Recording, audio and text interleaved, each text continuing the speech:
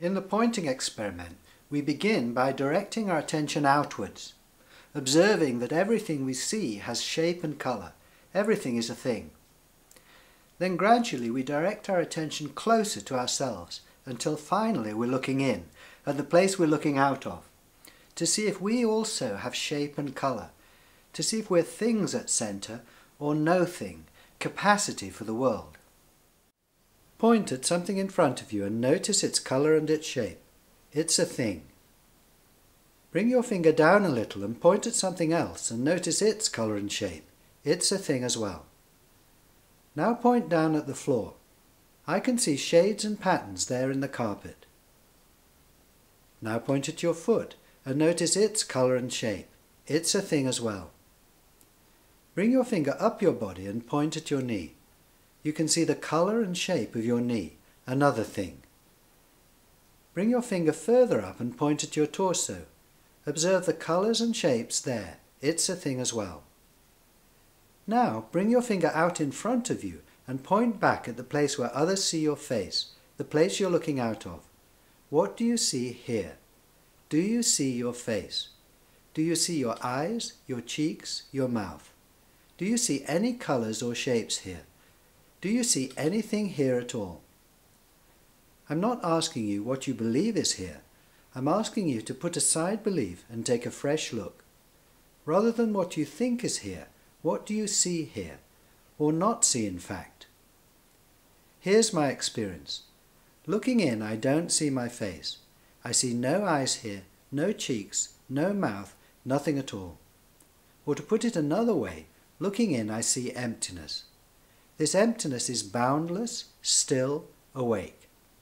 I'm now seeing what I am at centre, what I am from my own point of view, what I am privately.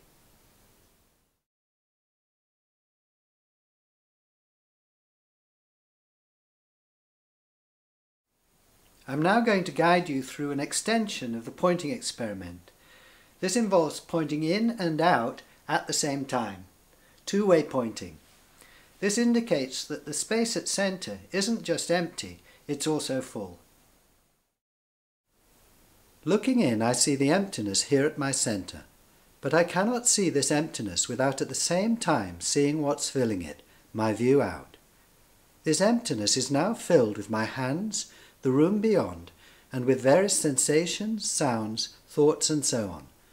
I find no boundary between the space here and the world there. My faceless consciousness merges with and becomes the world. Privately, I am the world.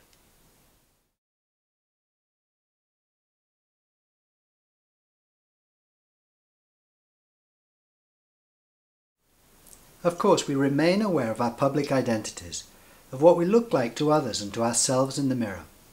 I'm aware that for you I'm Richard, and I identify with Richard. I identify with my face, my body, my name, my age, my thoughts and feelings, and so on. In other words, I'm aware of living a two-sided life.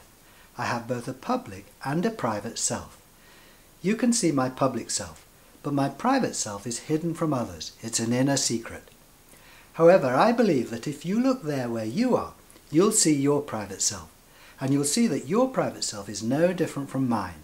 It has no face, no name, no age, its capacity.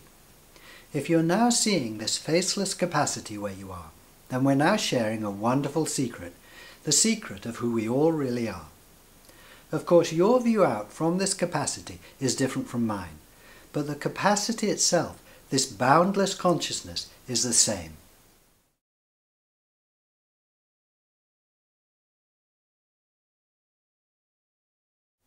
Seeing that privately your space for the world is a different view of yourself from the normal view, the view of yourself from outside, the view of yourself as a person.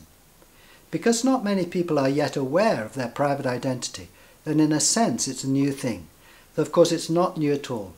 We've always been this aware emptiness, and throughout history many people have spoken about it. But if you haven't been aware of it, and then you come across it, it's normal to question whether or not this view is valid and true. For example, I can't see my face here, but I can see it in the mirror.